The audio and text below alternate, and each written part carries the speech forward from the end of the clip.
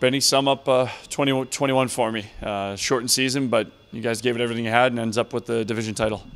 Uh, a memorable year. It was a lot of fun, and uh, it's a group I'm going to remember for a long time. We had a, a great year and uh, definitely finished the way we wanted to uh, with a, with a win in our last game.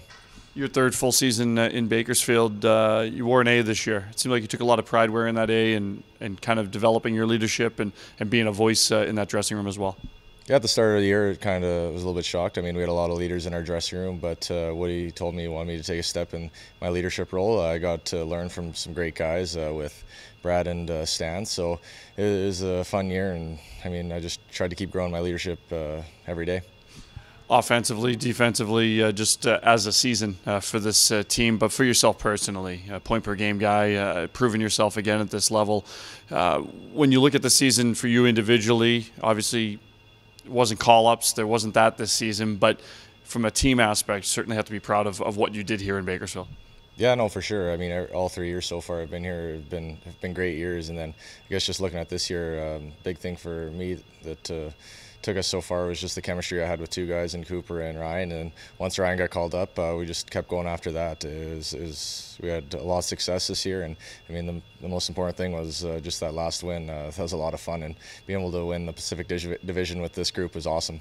Yeah, take me through that uh, that Saturday for you guys. Uh, we obviously didn't know what the division was going to look like, uh, you know, the intensity of the games, but everything ratcheted up a notch, and it certainly seemed like a, a big weight and a big opportunity there at the end uh, for you guys to be able to to call yourselves division champs. Yeah, no, we worked hard all year. We didn't know what uh, the playoffs were going to look like at the start of the year, but uh, once it finally happened, we knew we wanted to win it, and we we were fighting all year to do it, and just to be able to call ourselves champs at the end of the year is just shows how hard we worked all year, I guess.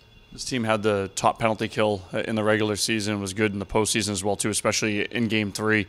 You were a part of that this year, and, and adding that, uh, you know, Jay kind of talked about adding that tool to your to your belt this season as you progress forward. How important was that to add a little more dynamic uh, aspect to your game in terms of being able to kill penalties uh, on a regular basis?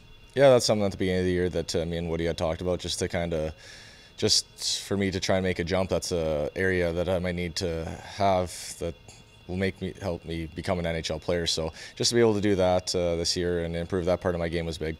Go into this off season. It's a shortened off season. Uh, certainly playing to the end of May. Uh, we'll do that for for you guys. But when you look at this off season, big year for yourself, big off season for yourself. Uh, what are your kind of your thoughts uh, as you kind of unpack things and get things ready and moving uh, back to Edmonton? Yeah, no, I guess uh, just take a little bit of time off. It was a long season, um, but uh, I'm ready to start working and uh, getting back in the gym to make sure that uh, once I show up for camp, I'm ready to try and make the team up in Edmonton.